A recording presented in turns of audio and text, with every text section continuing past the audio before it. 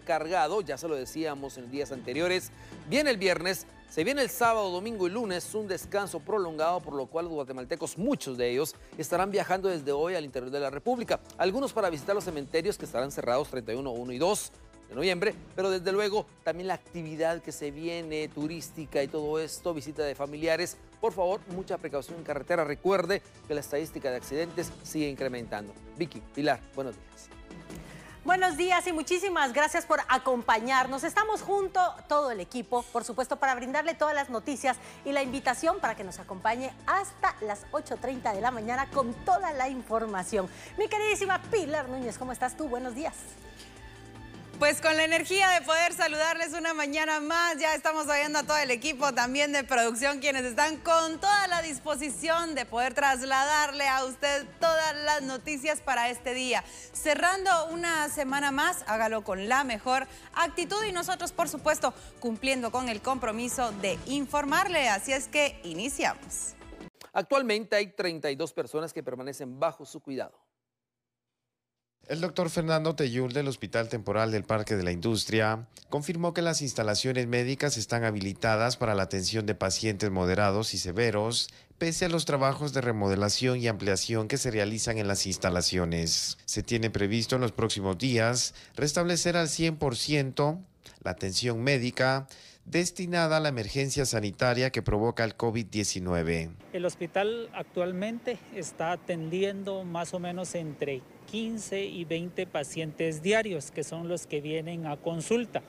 Nosotros tenemos eh, un buen porcentaje de pacientes pues, sintomáticos respiratorios que vienen para atención al hospital y de estos de 15 o 20 pacientes que nosotros atendemos, aproximadamente se quedan entre uno y dos diarios que se quedan ingresados dentro del hospital. Continuamos manejando igual a pacientes moderados y en estado crítico y severo, ¿verdad? Entonces, como les decía, normalmente nos quedamos con uno o dos pacientes diarios, que son los ingresos que tenemos. Actualmente nosotros tenemos 32 pacientes en la unidad de cuidados intensivos, que es la que tenemos habilitada para atender a los pacientes. Como le comentaba, estamos en un proceso de ampliación y entonces por el tema de los trabajos y todo, pues entonces... Eh, tenemos a todos los pacientes ingresados en esta unidad. El doctor dio a conocer los niveles de abastecimiento que refleja el Hospital Temporal Parque de la Industria para iniciar el último bimestre de 2021. Medicamentos y, de insumos médico-quirúrgicos de disponibilidad estamos aproximadamente en un 74%, que vendría siendo el promedio. Esto nos eh, alcanza para atender a la población que nosotros actualmente tenemos dentro de los servicios. Actualmente pues estamos en un proceso de, ampliación de los servicios de, de unidad de cuidados intensivos y de unidad de cuidados moderados, por lo que actualmente todos nuestros pacientes están dentro de un, dentro de un solo servicio, ¿verdad? Y pues a estos pacientes pues tenemos eh, suficiente medicamento y material médico quirúrgico para que puedan ser atendidos, ¿verdad? Este jueves 28 de octubre salió publicado en el diario oficial el acuerdo ministerial 212-2021 del Ministerio de Salud Pública y Asistencia Social, el cual establece que las instalaciones del Parque de la Industria serán un hospital especializado de tercer nivel destinado a la atención a pacientes con COVID-19. Por eso contará con las coordinaciones para la contratación de personal y compra de equipo médico, además de ser una unidad ejecutora de presupuesto. Bueno, y hablemos ahora del centro de vacunación que fue habilitado precisamente en el Centro Universitario Metropolitano, ubicado en la zona 11 capitalina. Pues resulta que cerró su atención como centro de vacunación. Con lágrimas en los ojos, voluntarios que apoyaron las extensas jornadas de vacunación mostraron su satisfacción tras seis meses de labores. Autoridades de la Universidad de San Carlos y del Ministerio de Salud clausuraron el centro de inmunización habilitado en el CUM en la zona 11 capitalina. En el recinto se vacunaron a 97 mil personas de diferentes zonas de la ciudad capital, con el apoyo de 500 voluntarios, quienes recuerdan el cansancio, pero también las risas y satisfacción de servir al prójimo. Seis meses, me lo repito y no lo creo. Pasó tan rápido el tiempo. Hubo momentos en los cuales dije ya no más. pero aquí estoy terminando mi trabajo de la mejor manera. Seis meses que no fueron fáciles. Hubo desacuerdos, hubo enojos y hasta maltratos. Claro, la población guatemalteca no es fácil de tratar, pero aún así lo recibí a todos con una sonrisa y de la mejor manera. No todo es malo, también hubo risas, felicitaciones y agradecimientos.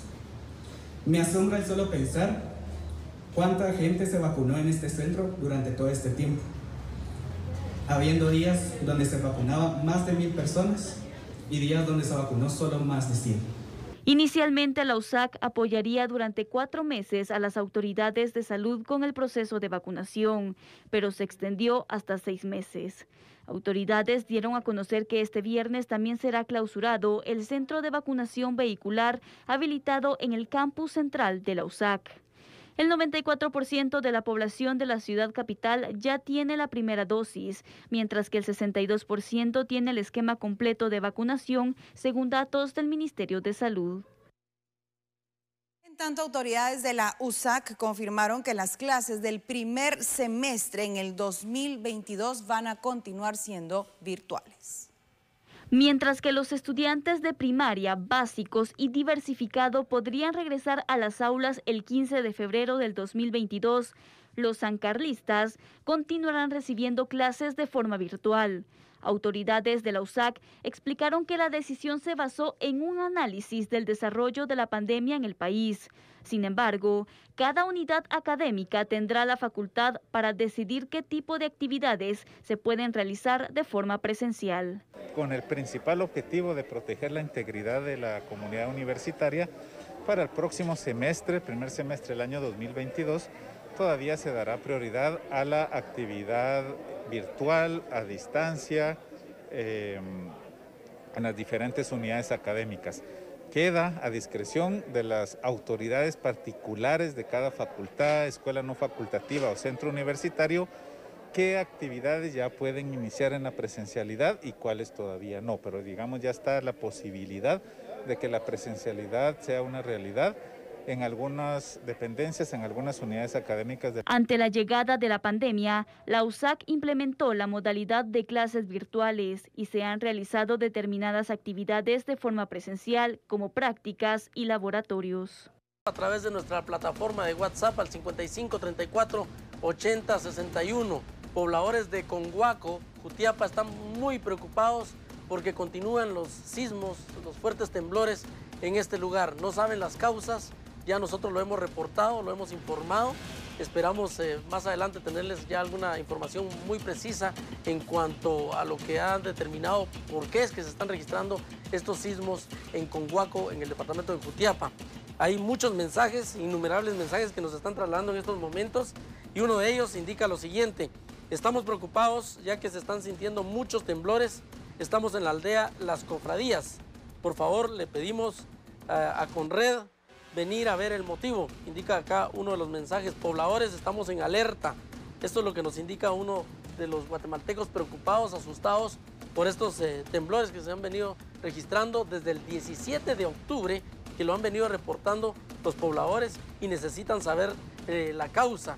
Incluso teníamos entendido que un equipo de geofísicos del INSIUME ya se habían desplazado hacia este lugar, pero me imagino que estarán investigando cuáles son las causas o los factores que están generando estos temblores. Aquí hay otro mensaje, son múltiples, pero múltiples mensajes. Ya esto ya significa que hay una alerta, sobre todo en los mismos pobladores, porque están muy asustados. Esto ya, ya nos da a conocer, ya con tanto mensaje que nos está llegando a través del 5534 8061, pues eh, ya evidencia que la situación está complicada. Hola, buenos días. Aquí en la aldea San Pedro con Guaco, en el departamento de Jutiapa, está temblando cada 10 minutos, dice uno de los pobladores, que está totalmente pues asustado, nos informa acá. Y hay otra de las personas que también nos da a conocer lo siguiente. Buenos días. Hoy viernes continuamos sintiendo los temblores de 5 de la mañana, aproximadamente 5.40 de la mañana a 6 de la mañana. Se han reportado, se han sentido cuatro temblores. Hemos sentido cuatro temblores, nos indica uno de los guatemaltecos pobladores de Conguaco, Jutiapa, que están en estos momentos así, nos indica él, estamos bajo los efectos de los temblores, no sabemos qué hacer. ayúdennos, por favor. Aquí estamos lanzando el mensaje de alerta de los pobladores. Así que se los estamos dando a conocer en estos momentos y a través de Noticiete, porque no es un mensaje ni dos, son varios mensajes los que nos están trasladando. Aquí tienen, aquí les vamos a leer otro, donde indica acá los temblores a cada dos minutos. Es aquí en la aldea San Pedro Conguaco, en el departamento de Jutiapa. Además, hay otra persona que nos reporta eh, que en Conguaco, pues eh, nos están eh, pues, tomando de sorpresa los temblores para informarles que en San Pedro Conguaco no han parado los temblores de 5.50 a 6 de la mañana. Han pasado seis temblores, nos indica esta persona. Nos, nos indica que son cuatro durante este lapso, pero otras personas pues, nos dan a conocer que de 5.50 de la mañana a 6 de la mañana, seis temblores han sentido.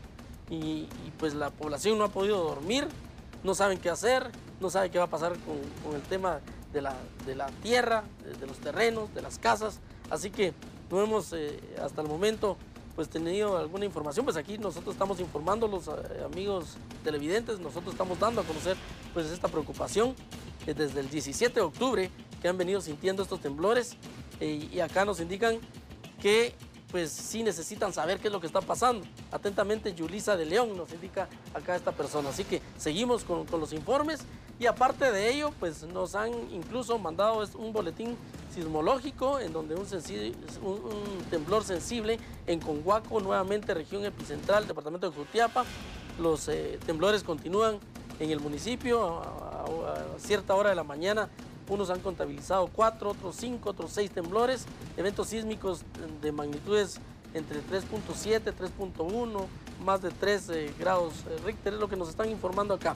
Así que todo esto nosotros se lo estamos presentando en estos momentos y siguen los mensajes, siguen los mensajes y nos indican acá. Hola, buenos días, en la aldea San Pedro sigue temblando fuerte, cada dos minutos de 3.6. Así que agradecemos a las personas y nosotros le estamos dando el reporte y seguramente tanto el INSIUME como la CONRED nos van a tener ya alguna respuesta porque estos mensajes sí están incrementando a esta hora de la mañana. Vamos a la pausa, esperamos que de cierta forma se, pueda tener algún ya alguna respuesta y nosotros, seguramente nosotros se las vamos a trasladar a través de Noticiete. Enviando más información de lo que se está registrando en Conguaco, en el departamento de Jutiapa, con este tema de los temblores que se han venido sintiendo muy fuertes en las últimas horas, en los últimos minutos incluso. Así que por favor estar pendiente de lo que en Noticiete les podamos ir trasladando. Según lo que nos sigue informando pues, la población en este lugar es que se encuentran muy asustados. Aquí tenemos eh, más informes de los mismos eh, pobladores, así que nosotros les vamos a estar dando lectura. ¿Qué es lo que tenemos acá? Acá pues lo que nos indica cada una de las personas, este es un video, nos indica este guatemalteco que nos está reportando más temblores. Este es el volcán que está ubicado en el municipio de Moyuta, a 8 kilómetros de Conguaco y nos indica esta persona, esto es ya algo que él pues eh, eh, lo está diciendo, lo está dando a conocer, nosotros solo lo estamos trasladando y él nos indica que este volcán que está ubicado en el municipio de Moyuta, a 8 kilómetros de Conguaco, puede ser la causa de los eh, temblores que se están sintiendo, ya que este volcán lo deberían de venir a monitorear las personas del INSIUME o los expertos del INSIUME y la CONRED nos indica acá este guatemalteco que nos envía estos dos videos. Cerca de Conguaco hay un volcán, nos indica otra de las personas, están en el municipio de Moyuta, deberían de ir a monitorear el, volcán, eh, porque de cierta forma se está activando y puede ser la causa de los temblores.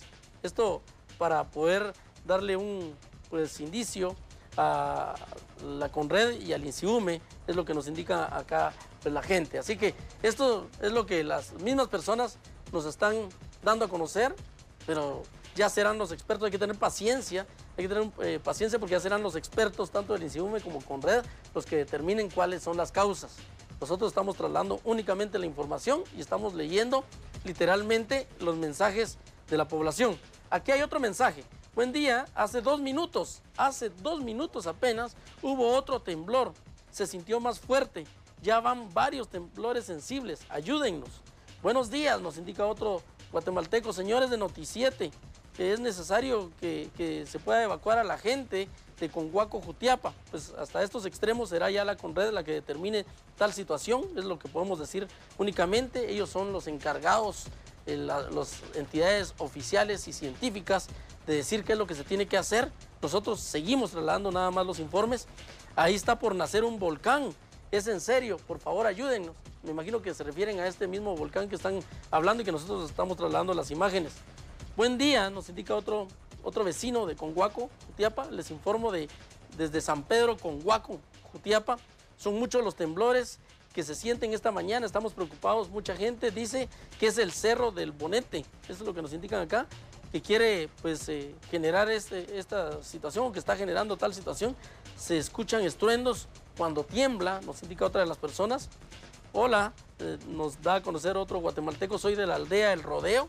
Quisiera saber por qué se están sintiendo tantos temblores en Moyuta, Jutiapa. Así que son tantos mensajes, aquí se los estamos exponiendo para que ustedes vean que sí son varios los mensajes que les estamos dando a conocer, que no solo es uno, sino son múltiples mensajes. Hola, buenos días. Acá en San Pedro ya van pasando ocho temblores y están bastante seguidos, nos indican acá. Y si, si siguiéramos leyendo, hay pues gran cantidad de mensajes más, pero sí le estamos alertando a las mismas autoridades, solo para que tomen en cuenta lo que nos están indicando los vecinos. Por favor, eh, si tienen información actual de lo que está ocurriendo en este lugar, sería bueno porque no sabemos qué es lo que se está registrando en Conguaco, Jutiapa, con tanto temblor. Así que esto es parte de lo que nosotros le estamos informando. Este es un de tomas del volcán, según lo que nos indica a cada una de las personas o del ser. Así que todo esto se lo estamos trasladando y si lo ponemos eh, solo como, como evidencia de que la población lo está eh, dando a conocer y nos está enviando algunas tomas al respecto. No, no estamos diciendo que eso sea la causa. Nosotros en ese sentido, pues sí aclaramos que no estamos diciendo que la causa sea el volcán, pero sí estamos colocando las imágenes de la gente.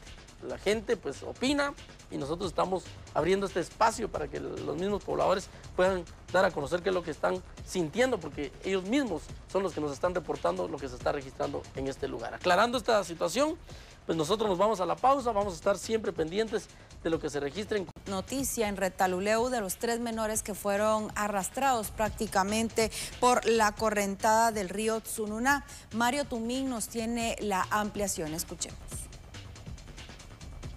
Sununá aumentó su caudal a raíz de las intensas lluvias registradas en las últimas horas en Retaluleu. Tres niños que se estaban bañando en el río fueron arrastrados por una correntada del mismo. Los menores se encontraban en un área de una residencial y decidieron introducirse al agua sin imaginar lo peor. Se dio la voz de alerta de parte de los familiares y fue así como cuerpos de socorro, personal de la Conred y PNC en conjunto con vecinos iniciaron una intensa búsqueda. A unos cuantos kilómetros río abajo se logró encontrar a uno de los menores aún con vida. Este fue identificado como Javier Cano de unos 12 años aproximadamente. Este recibió atención de parte de los paramédicos. Presentaba crisis nerviosa, así como golpes y laceraciones en distintas partes del cuerpo. Desafortunadamente se da una emergencia con tres menores que son arrastrados por el río Sununá. Uno de ellos pues eh, fue rescatado con, con, vida gracias a la intervención de un vecino y también con el apoyo de bomberos voluntarios. En esto pues hemos estado en varios puntos de, de donde pasa el río, hemos estado tratando de, de ubicar o buscar testigos visuales que, que hayan observado el, el paso de del cuerpo de los, de los dos menores, ¿verdad? Para nosotros poder reducir nuestra, nuestra zona de, de búsqueda a partir del día de mañana. Hay una organización institucional que coordina pues el delegado de la, de la Conred para, para poder trabajar el día, de, el día de mañana. Es una niña y su hermano, los otros dos que aún no han sido localizados, pero sus familiares tienen las esperanzas de que estén con vida. Tiene 10 años mi nena, no aparece mi nena, por favor necesito la ayuda del pueblo, por favor. Necesito a mi hija aquí en la casa, la están buscando pero no aparece. Mi nena se llama Mirza Elizabeth Cano López, tiene 10 años. Por favor necesito la ayuda del pueblo. Viste una blusita azul y un short de lona azulito. Este río cuando llueve recio se vuelve caudaloso según los vecinos. Reportó desde Retaluleu Mario Tumín. Observar en algunas playas del puerto de San José. Acá tenemos todos los detalles con Julio Arriba. Personas que llegaron a las playas del puerto de San José Escuintla se impresionaron al ver la cantidad de peces muertos que se encontraban a las orillas de la playa, ya que habían sido arrojados por el mar. Varias personas indicaron que ya se sentían olores fétidos debido a los pescados que se encontraban a la orilla de la playa. Quiero indicar que son miles y miles de peces por al menos dos kilómetros de playa, los cuales se encuentran en dicho lugar. Una persona del lugar indicó de que esto posiblemente se debe a que el río María Linda, el cual se encuentra en Iztapa, seguramente arrojó los peces al mar y el mar los arrojó a las playas. Hasta el momento pocas personas llegaron a las playas debido a que los peces se encontraban en la arena, asimismo también entre las olas del mar. Con imágenes de Ana Vázquez, reportó Julio Arriola.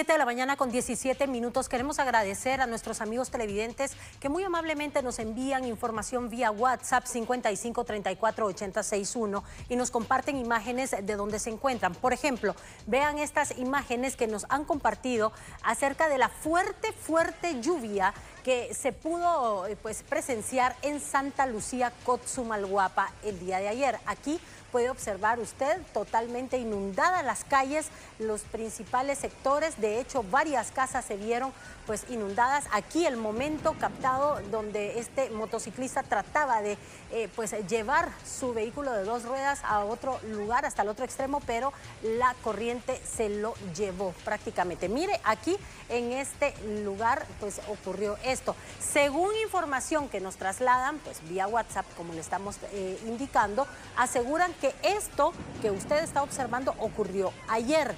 Estas imágenes que nosotros le estamos compartiendo de nuestros televidentes que nos trasladan también información para eh, informar también a todas las personas que viven en otros sectores del país o quienes tengan que viajar a puntos como estos para que sepan cuáles son las condiciones climáticas. Ya le mencionaba hace pocos momentos acerca de una eh, pues onda fría que puede eh, presenciarse en ciertas, ciertos sectores del país, pero podría también afectar a otras áreas. Ahora Esperemos más lluvias en, los siguientes, en las siguientes horas. Lo cierto es que esto es lo que ha ocurrido en donde eh, varias viviendas, de hecho, según información que nos han trasladado, se vieron dañadas porque el agua entró y pues obviamente eh, mojó eh, los sillones, los muebles, artefactos, en fin, todas las cosas dentro de las mismas y que podría venir a afectar también a varias familias.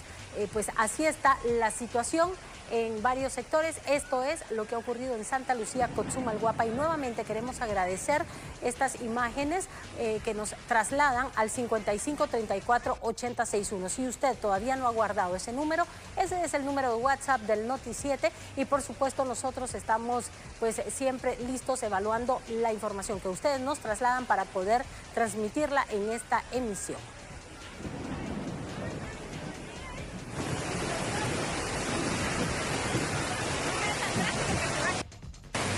34861. Gracias a quienes nos están escribiendo desde Santa Lucía la reforma en Totonicapán.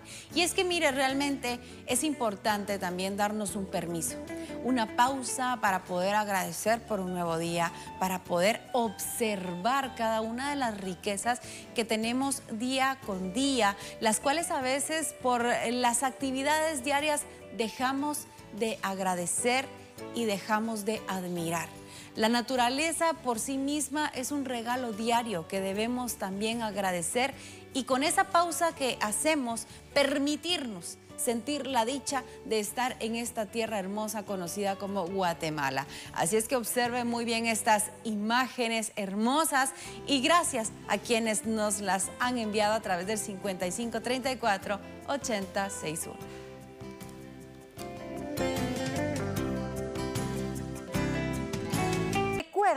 Que es al, 30, al 55 34 80 61. Mire, ya se me está olvidando mi número de WhatsApp. 55 34 80 61. Usted nos puede mandar este video, 20 segunditos, en donde usted nos muestre cómo está preparando el fiambre, si ya empezó con el caldillo, si ya tiene todos los ingredientes, qué le falta, qué ingredientes son los que usted le incluye. Queremos saber.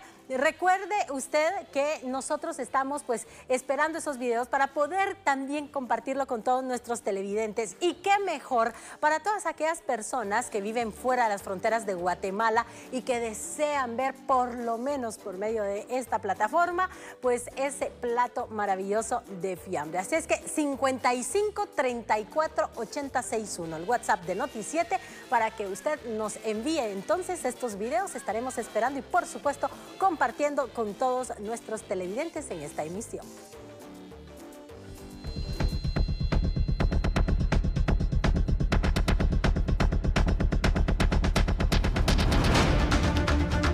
actualizar la información de lo que está pasando. ¿Escucha usted aquella frase sin miedo al éxito? Sí, bueno, pues yo se la voy a cambiar. Sin miedo a la pandemia, señores, se vuelve a repetir de nuevo una fiesta patronal allá en el occidente del país, en Cajolá en el caserío La Cruz. Tenemos imágenes y tenemos un reporte con Rosemary Ávila sobre la situación, ya que la mayoría estaba sin mascarilla, una aglomeración de personas y estamos hablando de que podría haber un rebrote de, casos positivos en este lugar. Rosemary, buenos días, adelante. Gracias, buenos días. Y es que afortunadamente pues los casos de COVID-19 van en descenso en nuestro país según los últimos datos que han dado a conocer autoridades del Ministerio de Salud Pública y Asistencia Social. Sin embargo, hay que tomar en cuenta que a pesar de esto no hay que bajar la Guardia. Quiero comentarles que hace algunas horas se registró una actividad en el caserío La Cruz Cajolá Quetzaltenango. Esto en honor a San Simón porque ayer se celebró precisamente su día. Sin embargo, acá podemos observar cómo es que se realizó un baile social en el mencionado lugar, poniendo en riesgo la salud de cientos de personas, porque acá y en estas imágenes se puede observar a adultos jóvenes adultos mayores e incluso niños. No todos portan mascarilla ni medidas de bioseguridad, tomando en cuenta la actual pandemia que estamos viviendo y esto podría provocar que se genere un alto flujo de contagios en el mencionado caserío y, e incluso en el eh, municipio que ya le dábamos a conocer. El último tablero que fue publicado por autoridades de la cartera de salud daba a conocer que solo en el departamento de Quetzaltenango la mayoría de los municipios se encuentra en color rojo, incluyendo Acajolá, y únicamente siete de este departamento están en color naranja. Esto representa un alto riesgo e incluso podría generarse, como bien lo mencionaba, un alto flujo de contagios en este punto ante la convivencia que se desarrolló hace algunas horas. Es importante mencionar que hace algunos días también informábamos acerca de la perspectiva que daban a conocer médicos de distintos centros asistenciales, quienes se encuentran en alerta debido a que no se descarta que incluso en las próximas horas lleguen a registrarse una serie de actividades tomando en cuenta el 1 y 2 de noviembre, a pesar de que los camposantos estén cerrados a nivel nacional. Y es por eso que estos médicos y en distintos hospitales pues se registra cierta alerta debido a que esto podría generar un mayor caso de contagios a nivel nacional, tomando en cuenta el COVID-19 que se está viviendo en el país y a nivel mundial. Se espera también que durante las próximas semanas se pueda registrar una próxima ola de contagios y esto pues también genera alarma en la población debido a que esta enfermedad recordemos que es mortal y a pesar de que las personas tengan la vacuna, pues existe el riesgo de que los contagios continúen. Lo único que genera la inoculación, recordemos, es que el impacto al organismo no sea tan fuerte como para quienes no tienen eh, las dos dosis de esta vacuna contra el COVID-19. Así que hacemos el llamado a las personas a que por favor no participen en este tipo de actividades masivas para proteger de esta forma su organismo, su salud, pero también a las personas que los rodean y a sus seres queridos, porque el riesgo es latente ante la actual pandemia que se está viviendo. Así que es parte del reporte que tengo con estas imágenes del evento realizado en Cajolá en honor a San Simón. Pues yo regreso a estudios haciendo precisamente el llamado que ya mencionábamos. Yo con esto regreso a estudios. Bueno, Rosemary Ávila, muchas gracias por la información. Observó usted las imágenes. Producción, por favor, antes de pasar con Pilar Núñez, quiero mostrar las imágenes. Mire esto, definitivamente. Qué alegre en otros tiempos, pero estamos en tiempos de pandemia. Por favor, evite las aglomeraciones y desde luego evitemos los contagios. Ya hablamos. Amamos poder observar esos platos. Es hora con información de operativos que han realizado las autoridades en Coatepeque, Quetzaltenango, los cuales han brindado resultados positivos. Y es que la denuncia ha sido muy importante porque ha permitido la captura de presuntos saqueadores de comercios, así como usted lo escucha. Ya uno de ellos ha sido identificado como Eric David Hernández Esteves, de 26 años. Él fue detenido cuando llevaba un costal con ropa, tenis, una estufa eléctrica, dos licuadoras, seis planchas para cabello y una lámpara eléctrica que según dan a conocer presuntamente pues había sustraído de un local comercial. Así es que bueno, ahora este saqueador tendrá que enfrentar a la justicia y recuerde que hay elementos importantes a través de la denuncia. Es por esto que le invitamos a usted continuar con esta práctica que permite entonces el accionar pronto de las autoridades dando resultados positivos como el que usted tiene en este momento en su pantalla.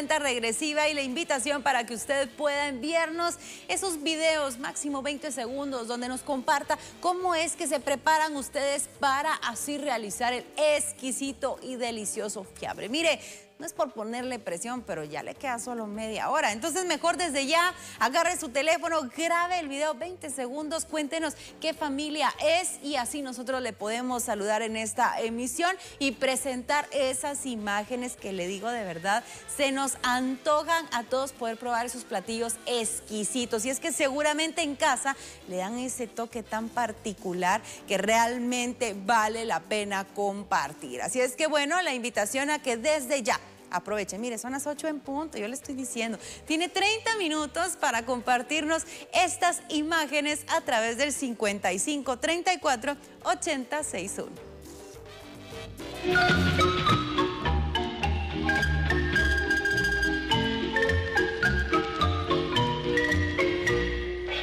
De la mano con lo que dijo Pilar del fiambre viene también el barrilete o los barriletes gigantes de Zumpango, que por segundo año consecutivo será de manera virtual. Pero acá le mostramos cómo se preparan estas organizaciones para mantener viva la tradición.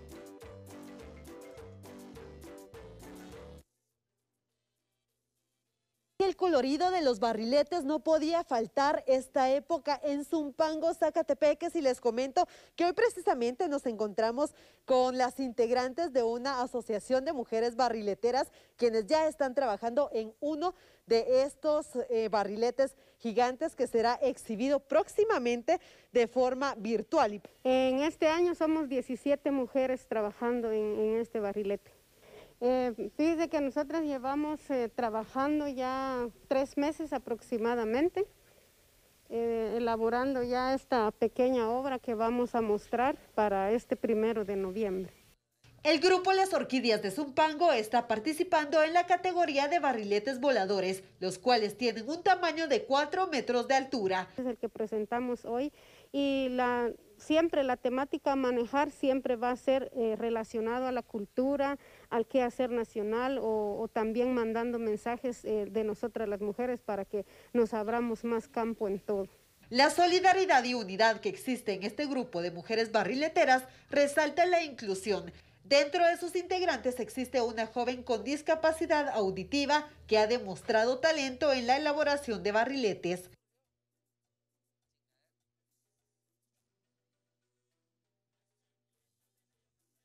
La elaboración de barriletes es un arte que trasciende generaciones y que representa amor, paciencia y dedicación para quienes participan en esta actividad. Para nosotros es un gusto realizar estos trabajos. Para nosotros es una obra de arte totalmente plasmada en papel china, ¿verdad? Eh, para nosotros es una alegría poderlo realizar y que todo el mundo lo vea, ¿verdad? Barrilete este año va a tener un significado sobre nuestra cultura, ¿verdad? Y va a ser relacionado con el Popol Vuh también. Estos barriletes serán exhibidos de forma virtual el 1 de noviembre. La meta es obtener visualizaciones a nivel nacional e internacional para mostrar el talento guatemalteco y de los barrileteros de Zumpango, Zacatepeques cómo ha entrado prácticamente el agua a las casas en, donde se ven inundaciones. Algunas de las eh, rutas están totalmente inundadas, pero mire esto, es realmente impresionante. Y esto es derivado de las fuertes lluvias que se han presenciado en las últimas horas. Aquí usted está observando una de las viviendas de la aldea El Esfuerzo que está ubicado en las cruces Petén.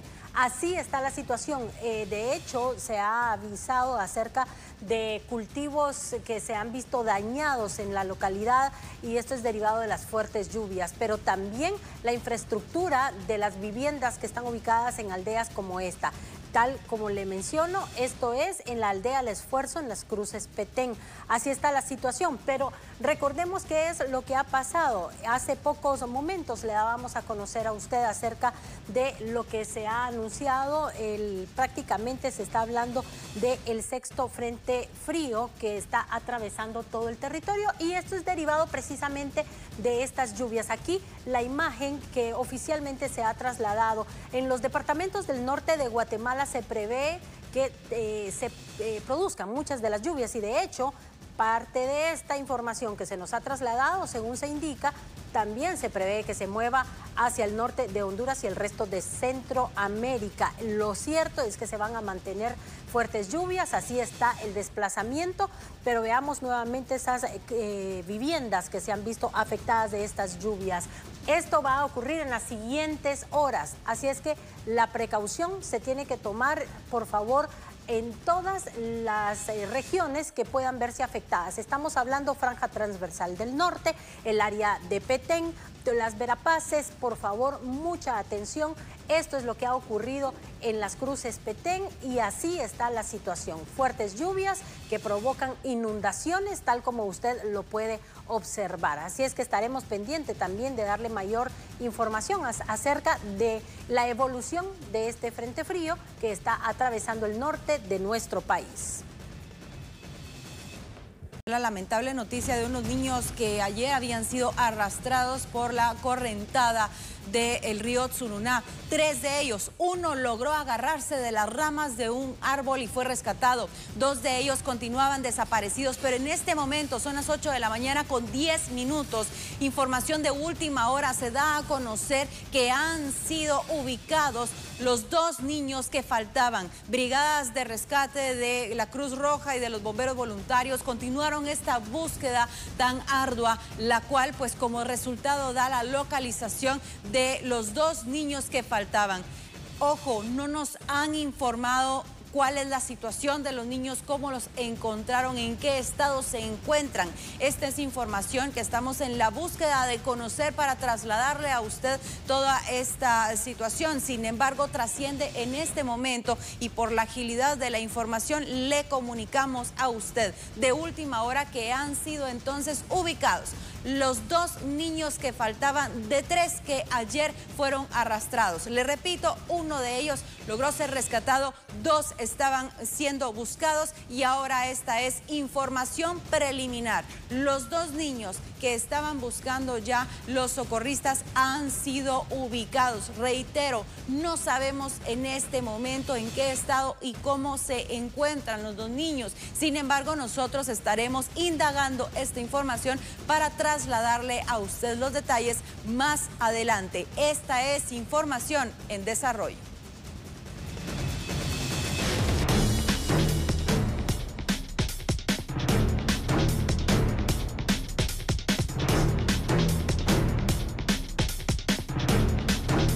Bueno, y mucha atención porque también en la vía pública hay situaciones que pueden interferir en el desplazamiento de los vehículos. Tal es el caso de los derrumbes que ocurren cuando llueve en algunas carreteras. Bueno, pues según información que nos ha proporcionado Provial, pues está brindando seguridad vial y ha retirado ya el derrumbe sobre el kilómetro 107 de la ruta interamericana. Esta es la CA1 Occidente, a la altura de Cantón Chupol, Chichicastenango, Quiché, en donde prácticamente está obstruido eh, el carril derecho con sentido a oriente. Pero aquí podemos observar en las imágenes cómo los mismos brigadas de Provial pues ya están realizando labor de limpieza para poder dejar expedita la vía y que puedan transitar sin inconveniente alguno. Eso sí, los derrumbes están pues latentes, sobre todo por las lluvias que este colectivo no ha dado tregua. Según defensores de los usuarios,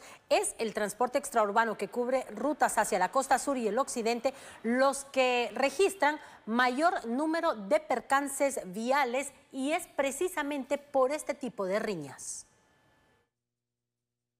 El único momento donde frenó la pelea de pasaje fue cuando se suspendió por ley, eh, se suspendió el, transporte colectivo, entre ellos el exurbano y el urbano. En este sentido, nunca ha parado esa competencia por pasaje que hay entre, incluso en las mismas empresas de transporte, entre los mismos pilotos. ¿Por qué se dan las disputas por pasaje incluso entre los pilotos de las mismas empresas?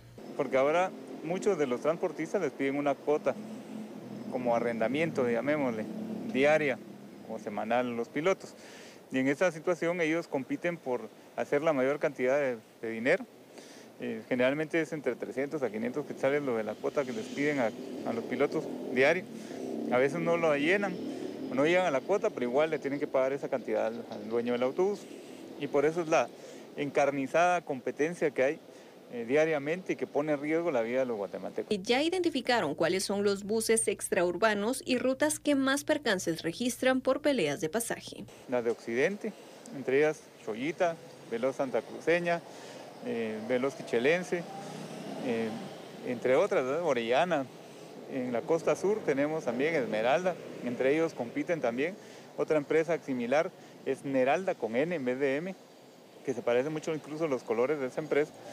Eh, eh, Transpacífico, Tropicana. Dos de las posibles soluciones para que se eviten las peleas de pasaje en los buses, según la Defensoría, son el cobro prepago y que los pilotos tengan un salario fijo. Las sanciones por realizar estas prácticas que ponen en riesgo a los usuarios van desde los 3.000 quetzales hasta la cancelación de operaciones y licencias de pilotos y empresas.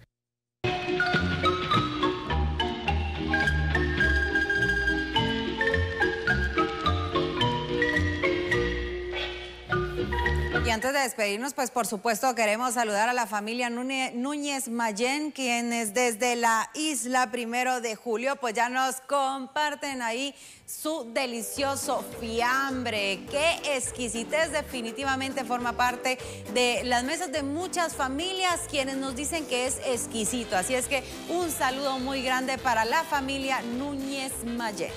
Qué delicia, realmente se ve riquísimo. Yo no sé a ustedes, pero a mí ya se me antojó por lo menos, por lo menos eh, empezar a, picar las cosas que, que, ya están listas con los ingredientes. Piquemos, Vicky, piquemos desde hoy. bueno, de esta manera estamos llegando al final de esta emisión de Noticias. Saludos a todos por allá en la primera de julio. Así es, gracias por habernos acompañado. Hasta aquí las noticias y por supuesto nosotros tenemos más información a las 13 horas. Ya nos vamos. Bendiciones.